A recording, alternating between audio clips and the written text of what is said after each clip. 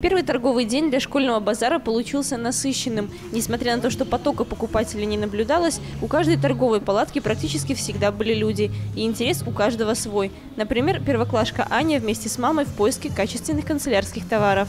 Первый день сразу вот тетрадки. Выбираем еще рюкзаки. Что вообще нужно вам в этом году? Первоклашки. Много чего надо.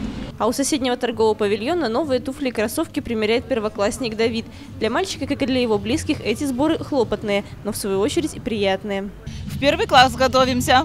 Покупаем. Вот рюкзак купили, сумку, портфель. Сейчас вот обувь покупаем. Готовятся к встрече со своими самыми требовательными покупателями и предприятия. Некоторые проделывают даже сотни километров, чтобы приехать в Брест и удивить детей и родителей. Моделей у нас, если обратить внимание на витрину, очень много. Больше, чем 200 моделей. И мне кажется, на любой вкус, кого устраивает кожа, кого лен.